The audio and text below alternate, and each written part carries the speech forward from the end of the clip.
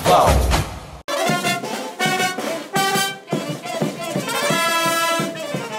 Uma das noites mais esperadas da semana pré-carnavalesca. Para mim, é a abertura do carnaval em Recife. Um baile que brilhante o carnaval de Pernambuco.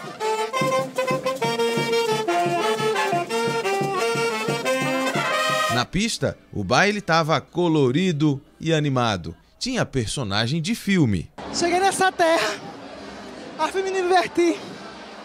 Encontrei aqui o baile municipal com muita alegria. O Arlequim caprichou na produção. Eu sou apaixonado por esse baile e eu vim com a indumentária do Bloco da Saudade. A lágrima que cai é de alegria. O amor pelo carnaval é expressado nos mínimos detalhes, nas fantasias.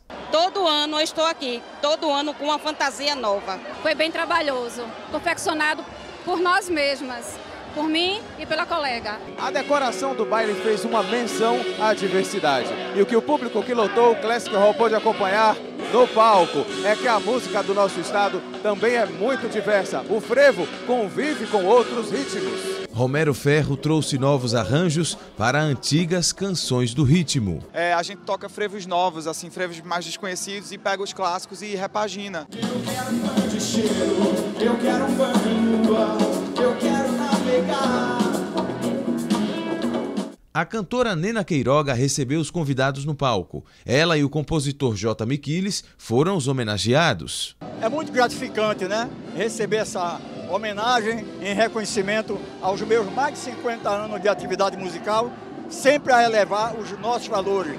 E coincidindo com o meu aniversário, que é hoje, Aí é tudo bom demais, é bom demais. Há 34 anos que eu sou apaixonada por esse baile. Comecei cantando com a orquestra do Maestro Guedes, Maestro Duda. Mas agora, hoje, eu sou a milheragiada, né? Organizado pela Prefeitura do Recife, parte da renda do baile municipal foi revertida para seis instituições de caridade. Ingressos esgotados, a gente está muito feliz de saber que os recifenses é, decidiram vir para o baile municipal. É uma festa que são sete horas de música sem parar e um baile beneficente. Tem seis instituições na nossa cidade, instituições filantrópicas, que trabalham com crianças, que trabalham com idosos, que fazem trabalhos culturais, esportivos, que recebem os benefícios aqui desse baile. Estamos muito confiantes de que o Carnaval de Pernambuco, mais uma vez, vai ser o melhor carnaval do Brasil. Um carnaval de alegria, de paz, um carnaval onde as pessoas fazem um carnaval, né? Isso é que é o diferencial de Pernambuco. Quando o hino de Pernambuco tocou, a multidão cantou junto.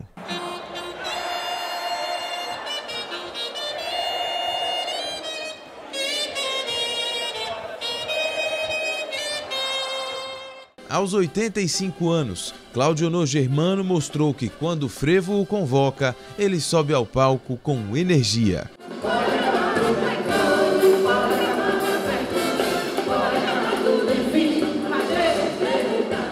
A edição de número 54 do baile municipal seguiu pela madrugada com a cantora Elba Ramalho. É uma festa bonita, uma festa colorida, uma festa onde a cultura pernambucana se expressa de forma grandiosa. Eu acho um baile maravilhoso, uma tradição, né?